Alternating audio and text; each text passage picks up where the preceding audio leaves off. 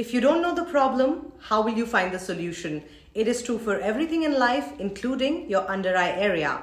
Here is a quick guide to selecting the right eye cream or eye serum.